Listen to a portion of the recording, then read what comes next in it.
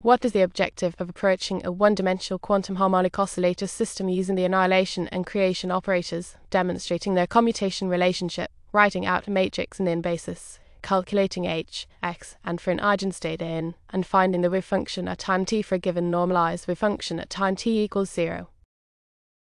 To show that at equal to 1 we need to use the definitions of the annihilation and creation operators equal to sqrtmo slash 2 bucks plus ip slash mo at equal to sqrtmo slash 2 bucks minus ip slash mo where h bar is the reduced Planck constant.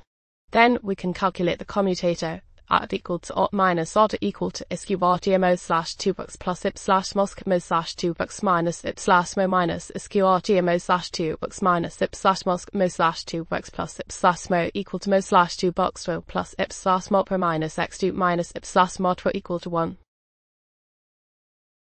Therefore are at equal to 1.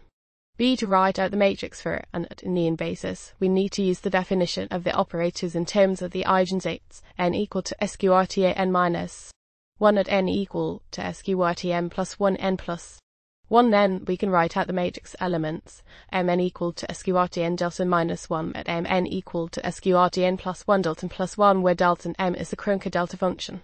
For the first three states, we have h0 equal to 0 h1 equal to 1 slash 2 bar asterisk omega h2 equal to h bar asterisk omega 0 h equal to 0 1 h equal to 1 slash 2 bar asterisk omega 0 equal to 1 slash 2 bar asterisk omega asterisk sqrton 2 h equal to h bar asterisk from backward 0 equal to h bar asterisk omega asterisk sqrt 2 0 h equal to 0 1 h at equal to 1 slash 2 bar asterisk from beyond 0 equal to 1 slash 2 bar asterisk omega asterisk asterisk askew rt2 to h equal to h bar asterisk. Congatwu